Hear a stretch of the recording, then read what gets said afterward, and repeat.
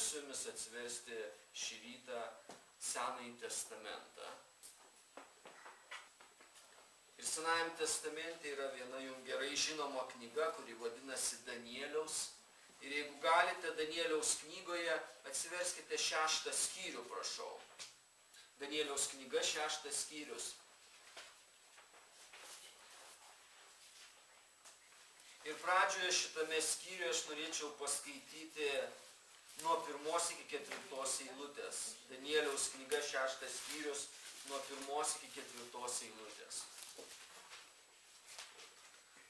Darijus nusprendė paskirti karalystėje 120 vietininkų, kurie būtų paskirstyti po visą karalystę, ir tris jų valdovus, tarp kurių buvo Danielius vietininkai turėjo jiems atsiskaityti, kad nebūtų padaryta žalos karalystiai.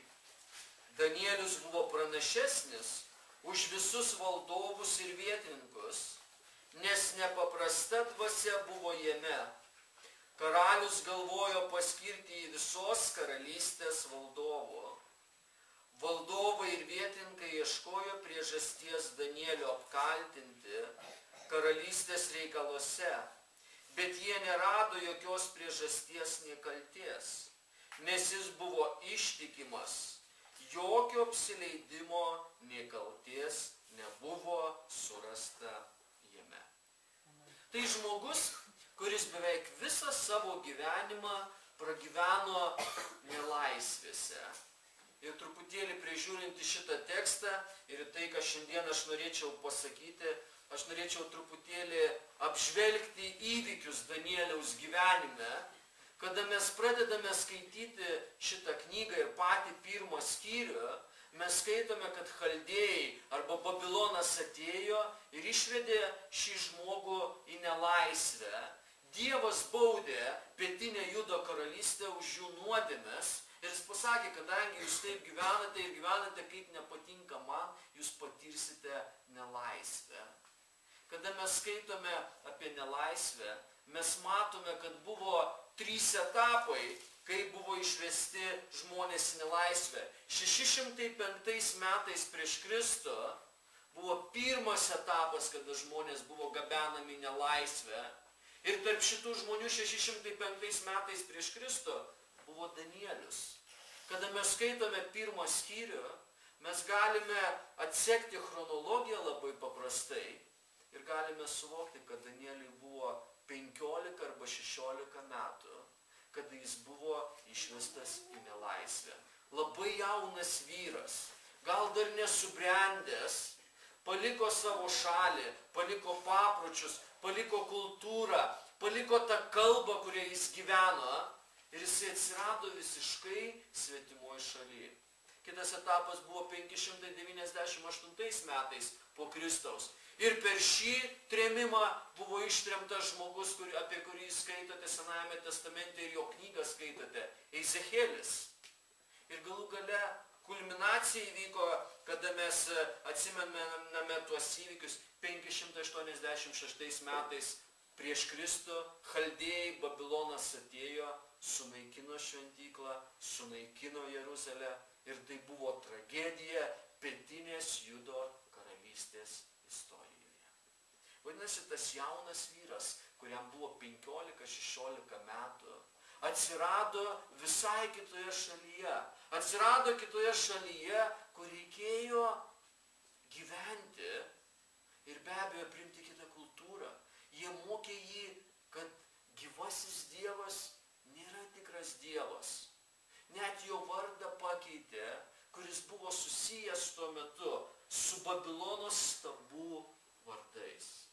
Kada mes pradedame skaityti šeštą skyrių, mes matome, kad valdžia pasikeitus, Babilonas buvo nugalėtas ir atėjo medai persai valdyti. Ir 538 metais prieš Kristų medai persai išleido įstatymą, kuris leido hebrajams grįžti į savo žemę. Bet Danielius negrįžo jis liko Medo Persijoje. Kada mes skaitome šeštą skyrių, tai jau ne, nėra jaunuolis, kuris nesubrendęs, tai jau yra garbaus amžiaus žmogus, kuriam virš 80 metų. Ir šitoj vietoj mes skaitome, kad Darius, kuris tuo metu valdė, jis paskiria vietininkus ir vietininkam jisai paskiria tris valdovus. Ir tarp tų trijų valdovų buvo pranašas Danielius. Ir kaip įdomiai prasideda trečia eilutė, Danielius buvo pranašesnis už visus valdovus ir vietininkus. Labai dažnai skaitydama šitą skyrių, daug metų, ir kada skaitydavau trečią eilutę, aš užduodavau savo klausimą, kodėl Danielius buvo pranašesnis. Aš dažnai užduodavau savo klausimą, kodėl Danielius buvo sėkmingesnis. Kodėl? Viešpatė, kodėl būtent Danielius? Jūs niekad savo neuždavėte tokio klausimo, skaitydami trečią eilutę, kodėl Danielius buvo pranašesnis? Kodėl būtent Danielius sėkmingesnis buvo? Kodėl jis buvo toks sėkmingas Dievo akise?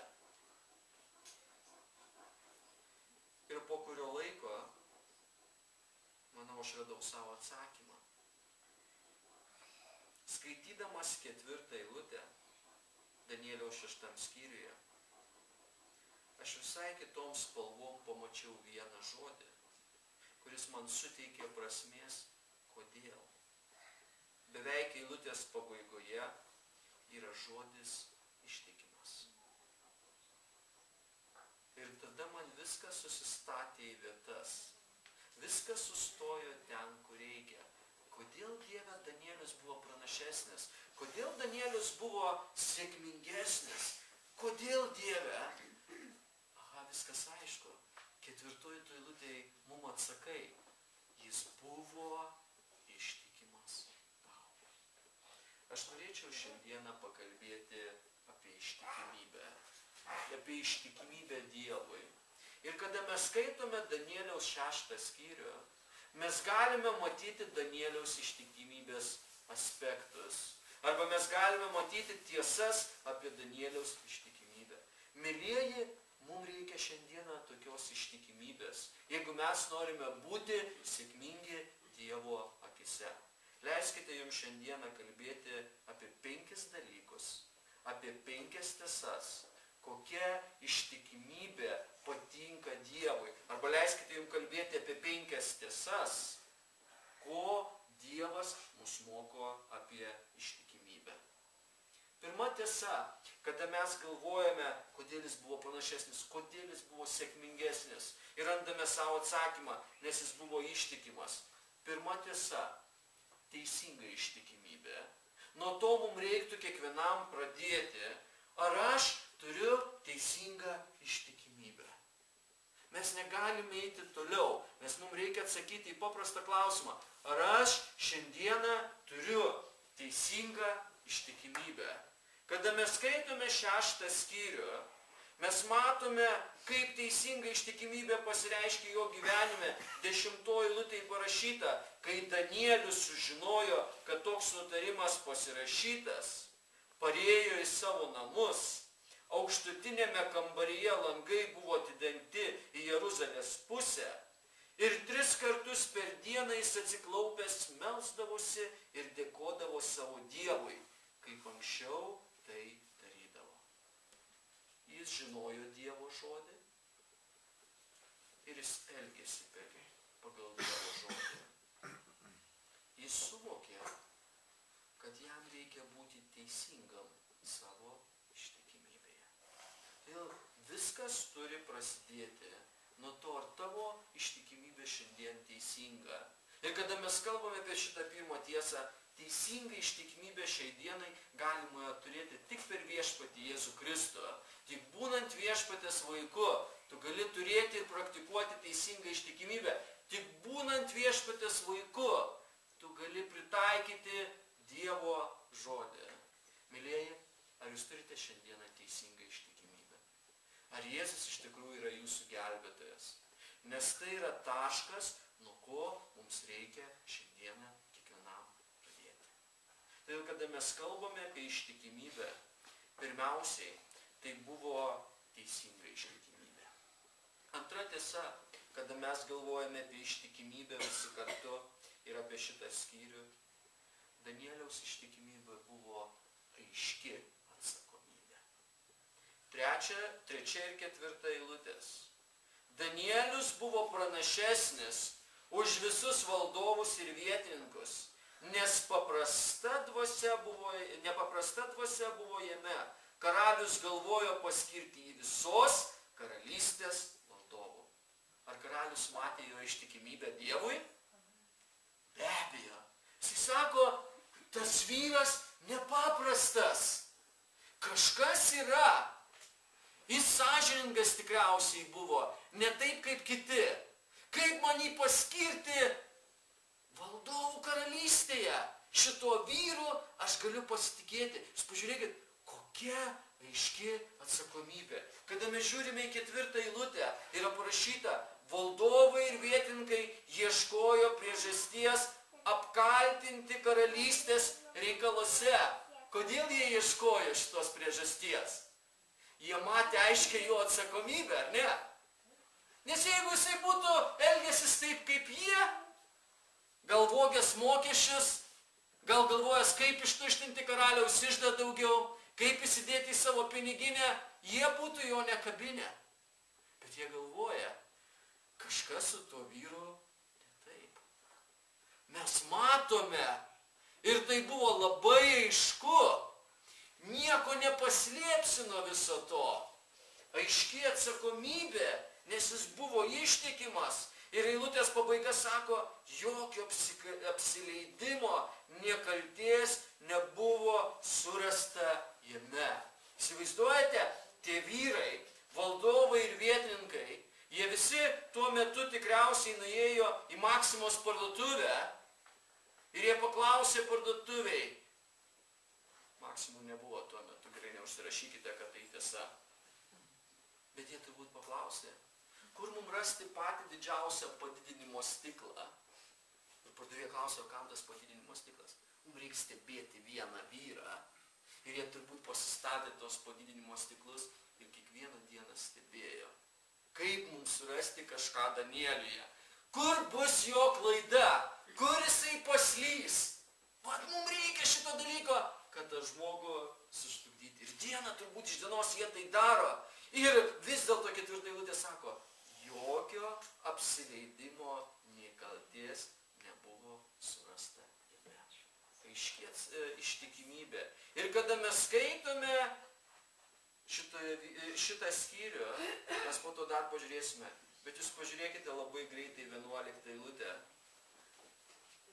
šitie vyrai susirinko ir rado Danielių ką darantį, besimeldžiantį ir beprašantį savo Dievo. Aiškiai e, ištikimybė.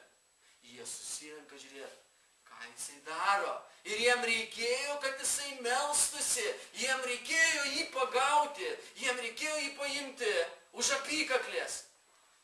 Jūs norite iškios atsakomybės? Pasižiūrėkite, čia yra aiški mano ištikimybė. Kada mes skaitome visą šitą skyrių, yra įdomu pasižiūrėti į 16 eilutę, kada mes galvojame apie aiškę ištikimybę.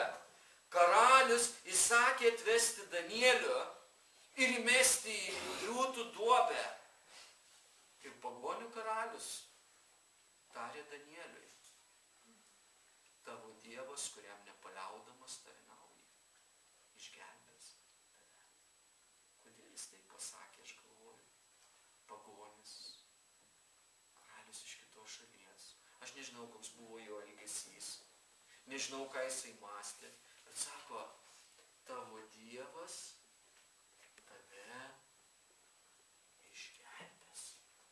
Kodėl? Jis matė aiškę Danieliaus Noriu užduoti klausimą. Kada žmonės šiandieną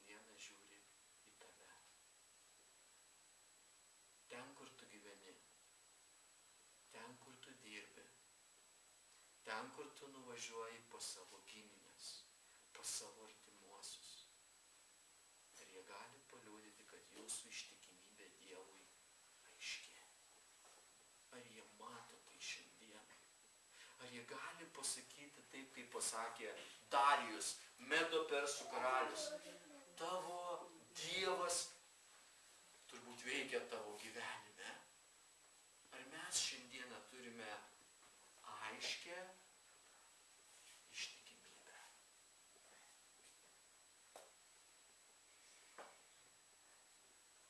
Tūkstančiai, ne 2000 jau maišausi čia, 1992 metais mano gyvenime įvyko pats didžiausias įvykis ir mano gyvenime įvyko toks dalykas, apie kurį aš dar šiandien galvoju vis su. Žinot, kas įvyko mano gyvenime? Kristus mane išgelbėjo. Iš mano nuodėmių. Istorija buvo labai paprasta, aš gal kažkada jau dalinausi, bet jinai man labai ypatinga ir mano širdžiai. 91 metais įtikėjo mano sesuo. Tuo metu mano seserį 91 metais buvo 15 su pusė metų. Ar turite kas nors paauglius namuose? Niekas neturite. Gerai. Bet matote, kaip jie gyvena šiandien, ar ne? Mano sesuo taip gyvena. Jis nieko nesiskyrė prieš išgelbėjimą nuo kitų paauglių. Keiksmažodžiai, pykčiai, kokią muziką klausė, aš nenoriu net sakyti. Žinote, kaip tėvai su paaugliais, su daugeliu susikalba, ar ne? Ten patys geriausi santykiai būna. Ir taip toliau. Bet žinot, mano sesuo vieną dieną gatvėje gavo lankstinuką, kuriame buvo kvietimas ateiti į evangelizacinį renginį.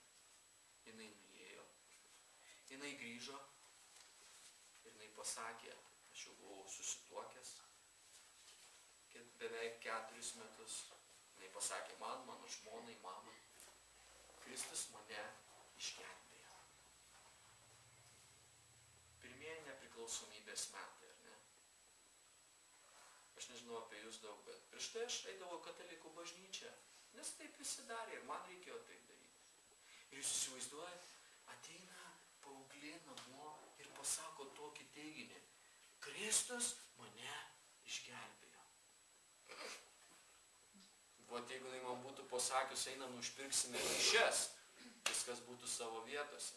Jeigu jinai man būtų nors pasakius, sukalbam rožančių, kad geriau sektųsi, aš būčiau supratęs viską nuostabiai. Jeigu jinai man būtų pasakius, einam nunešam auką į bažnyčią, aš nežinau, ar būčiau nešęs, bet aš būčiau supratęs.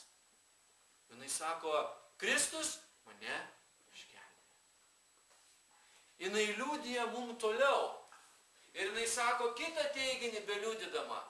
Kristus atleido visas mano nuodėmes. Jūs kada nors girdėjote prieš tikėjimą tokius dalykus, kad jums kažkas tokius dalykus pasakot? Galų gale baigė savo liūdimą ir sako, aš būsiu su Kristumi danguje. O čia jau ir prasidėjo mūsų mintise įdomus dalykai. Ką tu galvoji apie tokį žmogų, išgirdęs tokias mintis nei iš jo, nei iš to, kurių metų metais, man tuo metu buvo 21 metai. Ką gali girdėti, galvoti apie tokį žmogų, iš kurio tai išgirsti? Pasakykit man. Kad jisai pablūdo. Kad protelis pasimaišė. Kad kažkas yra negerai. Jums teko kada nors dirbti su žmonėmis, kurie turi negalę savo mintise. Man teko savo tarnystėje daugeliu tikinčiųjų padėti, kada jų šeimos nariai turėjo šitos dalykus. Vežti į ligoninės, patarnauti tiem žmonėms, parodyti meilę už tuos momentus aš labai dėkingas, nes aš išmokau labai labai daug. Ir mes tuo metu, mes nu, dvasiškai, aš jums pasakysiu, nusiperkam padidinamus stiklus ir stebim seserį, kurią dieną reikia kviesti greitąją mašiną, kad išvežti, nes jos nuodėmės atleistos jinai jau dangui. Ir mes galvojam, kas bus toliau. Mes žiūrim vieną mėnesį, bet taip įdėmiai, kas čia darosi. Per tą mėnesį nustoja keiktis. Per tą mėnesį nustoja, e, e, pradeda grįžti laiku namo. Per tą mėnesį nustoja plėšyti tėvam akis, pasikeitė kažkas. Mes stebim kitą mėnesį, nustoja su bloga muzika turėti reikalų. Mes matome, kad dingo iš akiračio tam tikras draugų ratas, kuris buvo ohoho. Mes stebim ją trečią mėnesį ir mes žiūrime, kad mergina kiekvieną trečiadienį Kiekvieną sekmadienį ryte ir vakare eina į bažnyčią pagarbinti Dievą. Aš einu į bažnyčią. Mes žiūrime, stebime trečią mėnesį, mes žiūrim, kad mergina atsisėdus prie pianino, namuose mokosi gesmes. Ir mes kelis kartus nuėjome tą bažnyčią pažiūrėti. Jis groja gesmes bažnyčiai. Visi gėda. Kažkas įvyko. Ir mes matome tuo metu jos gyvenime aiškę ištikimybę Dievui. Ir gruodžio mėnesį 91 metais jinai man padovanoja Naująjį Testamentą. Ir jinai sako, aš šiandien dar turiu tą Naująjį Testamentą. Jinai sako, imk šitą knygą, skaityk, aš nieko tau negrūsiu prievartą, nieko tau daug nekalbėsiu, bet tu skaityk, melskis ir prašyti, kad Dievas atvertų tau savo tiesą. Ir Dievas man atvėrė, beveik po metų laiko, jis man atvėrė savo tiesą. Bet žinot, mėlyjei, kas buvo? Aš mačiau aiškę ištikimybę sesers gyvenime tuo momentu, kada jinai priėmė Jėzų. Kada mes kalbame apie Danielių ir pažiūrėjome šitas eilutes, mes matome, kad jie matė aiškę Danieliaus ištikimybę. Pirmas dalykas - teisinga. Antras dalykas - aiški. Trečia tiesa. Šeštas skyrius penkta eilutė. Tie vyrai kalbėjo, mes nerasime jokios priežasties apkaltinti Danieliu, nebent ko nors iš jo Dievo įstatymo. Trečia tiesa apie ištikimybę patikrinta ištikimybė. Ir šitie vyrukai kalbasi, kur rasti priežastis. Kaip šitą vyrą apkaltinti? Aha, mes paimsime Dievo žodį dabar ir mes iš tikrųjų patikrinsim, kaip tas vyrukas vykdo Dievo žodį. Aš jums pasakysiu vieną dalyką, ko aš mokausi nežinau, kas vyksta jūsų gyvenime. Pasauliui nepatinka, kada neini su juo. Pasauliui nepatinka, kada nedarai tai, ką jis daro. Pasauliui nepatinka, kada nepasiduodi jo įtakai. Ir visos tos situacijos tikrina tavo ištikimybę. Šeštoji lūtėjai valdovai ir vietininkai susirinkę pas karalių tarė, karaliau darijau gyvuok per amžius. Visi karalystės vietininkai, valdovai, kunigaikščiai, patarėjai ir valdovai susitarė prašyti karaliaus išleisti nutarimą ir jį patvirtinti, kad kiekvienas, kuris per 30 dienų prašys ko nors iš bet kokio dievo ar žmogaus, o ne iš tavęs karaliau, būtų įmestas į liūtų duobę.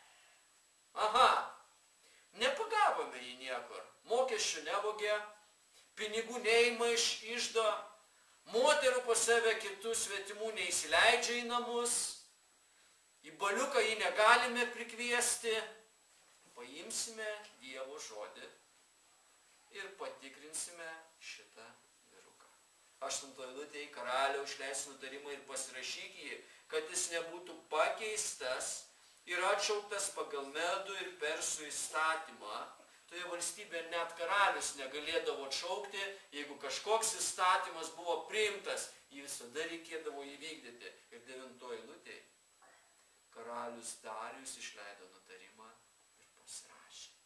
Mes matome, kad tas karalius išdidus buvo. Prašyti tik pas jį. Ar tai gerai? Be abejo, visi dabar ateis pas karalių, nieko kito negali, nei vieno žmogaus negali prašyti. Čia tas pats, kaip išleistume šiandieną įstatymą per šitas pamaldas ir pasirašytume. Visko kedainiuose galite prašyti, bet tik pas evaldą. Niekur kitur negali kedainiuose eiti, nei pas merą, nei pas poną Viktorą, tik pas evaldą. Karalius sako, aš pasirašysiu, tai parodo, kad jis išdidus. Bet šitie žmonės sako, mes patikrinsime jo ištikimybę. Dešimtą eilutę mes skaitėme jau, ar ne? Jisai parėjo į namus ir meldėsi. Norite patikrinti? Jūs patikrinkite mano ištikimybę. Dievo žodis mane mokė melstis, aš ir melsiuos. Mėlėjai, daug ką žmonės gali paimti iš jūsų šiandieną bet jie negalės paimti jūsų ištikimybės, jeigu jūs apsispręsite būti ištikimi Dievui. Patikrino ištikimybę. Žiūrėk, kadangi aš labai daug važinėjau, aš jau neatsimenu, kiek aš jums pavyzdžių esu davęs kažkokiu ir kiek aš jums pripasakojęs. 2001 metais, aš nežinau, ar aš pasakoju ar ne, mano namuose suskambėjo telefonas. Ir kada mes atsiliepėm per telefoną, skambino Panevežį yra pastatas, kaip ir kitose dideliuose miestuose, iš Lietuvos saugumo. Aš nežinau, pasakau šitą pavyzdį ar ne. Ir man pasakė 2001 metais, tu turi ateiti į mūsų pastatą ir mes tave klausime. Pasakė valandą, kad kitą rytą aš turiu prisistatyti. Ir tą rytą aš pabučiau savo žmoną, išėjau iš namų ir nuėjau į pastatą. Labai įdomu, aš niekad nebuvau tų dalykų patyręs. Kada aš atėjau į tą pastatą, mane sutiko būdintysis ir sako, aš tave palidėsiu į vieną kambarį. Jis mane palidėjo į vieną kambarį ir kada mes nuėjome tą kambarį, kambaryje tik buvo liko sienos ir medinė kėdė per vidurį. Jisai sako, sėsk ant tos kėdės ir tau šitam kambarį reikės laukti, kol ateis pareigūnas. Aš atsisėdau ant tos kėdės, aš pajaučiau, kaip jisai užrakino duris ir tame kambaryje užgesino šviesą. Ir aš sėdžiu ant tos kėdės, visur tamsu, nežinau, tai buvo labai ilgas laikas, kiek aš turėjau tenai sėdėti. Ir toje vietoje iš pradžių tu nervuojasi, žinai, kodėl čia taip. A ką tu gali pakeisti tam kambarį, tam cementos taburetės, atsiprašau už išsireiškimą. Tu pradedi galvoti, a kur čia tas Dievas dabar, nu, kaip čia yra, Aš nesu tokie stiprus kaip jūs, man visą laiką pradžioje visokių minčių prilenda. Aš kartais net pykstu ant Dievo, pas jūs turbūt taip nebūna gyvenime. Mes truputį panašus tame. Bet kuo daugiau valandų eina ir kuo tu daugiau ant tos taburetės sėdi, tu suvoki. Šitoj patalpoje tik aš ir Dievas. Nieko daugiau.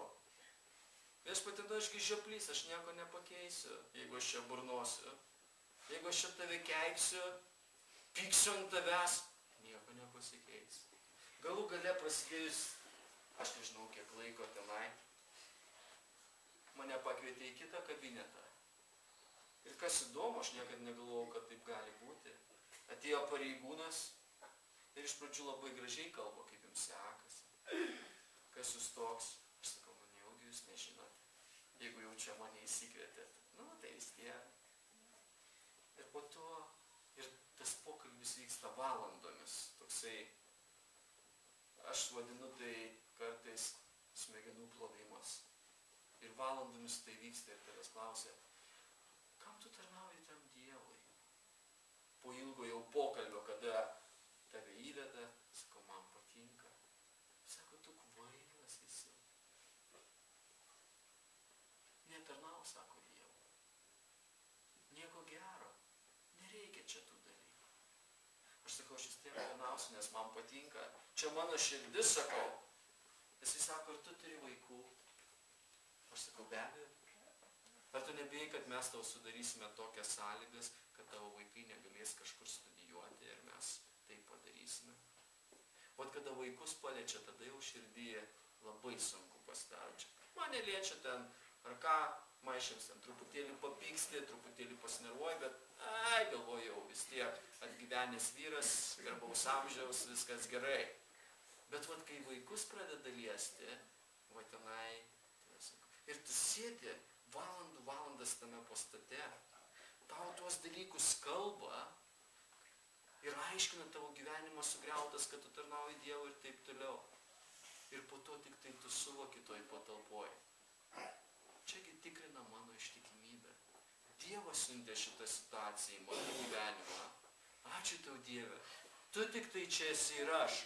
Daugiau nieko. Ir Dievo žodis moko mus, kad mūsų ištikimybė bus patikrinta. Jie tikrino Danieliaus ištikimybę. Surasime kažką. Jūs norit paieškoti, ateikit pas mane į kambarį, pasižiūrėkit. Jie pasižiūri į kambarį, Danielius kaip klupėjo ant kelių, taip ir klupi, jie žinojo Dievo žodį, norite patikrinkite, aš esu ištikimas savo Dievui. Teisinga ištikimybė, aiški ištikimybė, patikrinta ištikimybė. Aš ne per ilgai. Jeigu jūs pavargot, sakykit, po dviejų metų evaldas pakvies, aš tesinį pasakysiu. Gerai, kad jūs tokie kantrus. Aš kai pamokslauju Amerikoje, man pastorius pasako 30 minučių ir jeigu viršinsi 2 minutės, kaip kuriuose bažnyčiose, chaosas kils. Vadinasi, kėdainiai yra chaoso žmonės. Gerai. Ketvirta tiesa labai greitai. Patvirtinta ištikimybė. Patvirtinta ištikimybė. Mes jau skaitėme penktą eilutę, kad jie ieškojo priežasties ir apsistojo ties Dievo žodžiu. Ir vienuolikto eilutėje vyrai susirinko ir rado Danielių besimeldžiantį ir beprašantį savo Dievo. Tai nebuvo atsitiktinumas, mėlyje, ar ne? Kodėl? Todėl, kad pas Dievą atsitiktinumų nebūna. Ką jie galvojo, kada ėjo į Danieliaus kambarį? Kaip jūs manote? Ką jie galvojo? Jie žinojo, kad jis melsis. Ir jisai tik tai patvirtino jiems, prašau, aš melžiuos. Aš noriu patvirtinti jums savo ištikimybę, kurią Dievas man padovanojo ir su kuria aš vaikštau prieš savo viešpatį. Žinot, Danielius tai galėjo padaryti ne vieną kartą, mėlyjeji. Jeigu jūs pažiūrėsite šitame 16 skyriuje, pasižiūrėkite kartu su manimi labai greitai 19 eilutę. Ir tarp kitko 18 eilutė sako, kad Danielius buvo įmestas į liūtų duobę, karalius grįžo į savo rūmus. Ir žiūrėkite, ką daro pagonių karalius. Jis naktį praleidžia pasnikaudamas. Jis nekvietė muzikantų ir karalius, pagonių karalius, nemiega visą naktį. 20, 19 eilutėj auštant anksti ryte karalius atsikėlė ir pirmas dalykas, ką darė pagonių karalius, kuris tai nulėkė prie liūtų dobės. Artėdamas prie dobės jis šaukė 20 eilutėj virksmingų balsu. Danieliau, gyvojo Dievo tarne, ar tavo Dievas, kuriam nepaliaudamas tarnauji, tave išgelbėti iš liūtų? Kaip ten toj dobėjai? Ar liūtai laimingi? Ir turbūt jis eidamas prie dobės galvoja, aš tuo ateisiu, pažiūrėsiu į duobę ir liūtai su manim pradės kalbėti. Karaliau Darijau, ačiū už vakarienę, buvo gera, bet laikas pusryčiam, nes išaušo. Ir jisai pribėga prie tos dubės sako, kaip ten Danielio reikalai. Ir jūs pažiūrėkite 21 eilutė. Karaliau gyvuok per amžius. Mano Dievas atsiuntė angelą, kuris sušiaupė liūtų nastrus ir jie nesužeidė manęs, nes jo akivaizdoje buvau nekaltas. Taip pat ir tau, karaliau, nepadariau jokio nusikaltimo. Jis tai patvirtino savo ištikimybę pagonių karaliau. Pasižiūrėk, kas įvyko. Pasižiūrėk, karaliau, kas įvyko ir žinok tai. Bet jūs, mėlyjeji, pasižiūrėkite, koks yra įdomus teiginys iš dviejų žodžių 22 eilutėje pačioj pradžiai. Du patys pirmi žodžiai, kokie yra pas jūs Biblijoje, 22 eilutėje. Mano Dievas. Karaliau, ne visos visatos Dievas. Karaliau, ne tam tikrų tautų Dievas. Karaliau, ne hebrajų, ne Izraelio Dievas. Karaliau, ne tų žmonių Dievas. Karaliau, mano Dievas. Aš tau patvirtinu tai, kad tai padarė mano Dievas. Mėlyjeji, jeigu jūs šiandien esate ištikimi viešpačiai ir vaikščiojate ištikimai jo akivaizdoje, jūs turėsite daug, daug, daug galimybių patvirtinti savo ištikimybę. Teisinga, aiški, patikrinta, patvirtinta ir leiskite man baigti penktą paskutinę tiesą - palaiminta ištikimybė. Visada ištikimybė yra palaiminta. Šeštas skyrius. Mes matome, kad Danielius atsiliepė. Mes 22 eilutėje matome, kad jis pasakė mano Dievas. 23 eilutėje karalius labai apsidžiaugė ir jis sakė ištraukti Danielių iš dobės. Danielių ištraukus iš dobės nebuvo rasta ant jo jokio sužeidimo, nes jis tikėjo savo Jūs matote, jį ištraukė ir tai buvo palaiminta ištikimybė. Jisai suvokė turbūt, pasakydamas mano Dievas, kad jis visą tai patiria su Dievu, kad Dievas veikia šitoje situacijoje. Jisai suvokė, kad neatsižvelgiant į situacijas yra palaiminimas vaikščioti su Dievu, mylėti jį, paklusti jam, nes ištikimybė visada būna palaiminta. Mylėji, Dievas visada ištikimybę palaimina. Ir Dievas visada veikia per tuos dalykus. Man, man yra didelis palaiminimas, kaip aš turiu nuostabią žmoną, su, kuriais, su kuria mes gyvename 24 metus jau, jeigu Dievas leis rūpiučio mėnesį. Ir man didelė palaima gyventi ištikimybėj su savo žmona, nes aš visada gaunu palaiminimus. Kiekvieną kartą, kada aš išvažiuoju kokią nors kelionę ir keletą dienų nebūnu namie, ar aš važiuoju kitur pamokslauti, ar aš važiuoju į Rygą, netikėtai atsivertęs Bibliją ar kokius savo užrašus, aš visada randu įdėtą savo žmonos raštelį. Mažą. Mano mylimasis, bučiuoju tave ir glaudžiuosi prie tavo širdies. Kada aš važiuoju į Rygą, aš kažkur rusiškai Biblijoje, nes iš jos pamokslauju, aš randu raštelį, stiprybės tau, myliu tave, melsius už tave, geros tau tarnystės. Ar jūs matote, ištikimybė net tarp žmonių gali būti visada palaiminta. Jeigu tu ištikimas, moteris padarykite savo vyrams tokius surprizus kartais. Įdėkite į kišenėlę, į pietų dėžutę kartais. Arba tiesiog į jo knygą, e, raštelį. Aš tave myliu. Stiprybės tau. Džiaugiuosi, kad tu mano vyras. Jūs pamatysite, tai darys įtaką, tai stiprins jūsų santykius. Gal aš savo amžiumi, kaip kuriem nesu tas, kuris turėčiau mokyti apie tuos dalykus. Bet aš žinau, kad ištikimybė visada, mėlyje, yra palaiminta. Ir Danielius suvokė mano Dievas. Ir prieš užbaigiant šiandieną, atkreipkite, prašau, šeštame skyriuje savo dėmesį į 26 eilutę.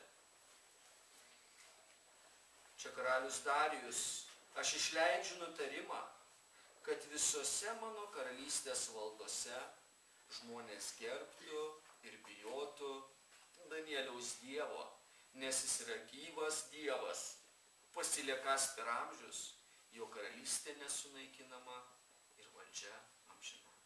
Kas čia kalba? Pagonių karalius, kuris pamatė paprasčiausiai Danieliaus ištikimybę. Jis pasakė, toks mano nutarimas. Mėlyjei, ar jūs matote, kad šitame skyriuje Danielius daug nepamokslavo? Danielius garsiai neaiškino labai visko. Yra momentai, kada mums reikia liūdyti žodžiais ir būtinai tą darykite. Bet šitam skyriui mes turime dar kitą pavyzdį. Šitas žmogus buvo ištikimas Dievui. Ir jūs pažiūrėkite, kaip Dievas palaimina ištikimybę. Pagonių karaliaus nutarimas. Ir kada baigėme skaityti šitą skyrių, 28 eilutė nuostabi. Du žodžiai pirmi. Danieliui sekėsi. Kodėl?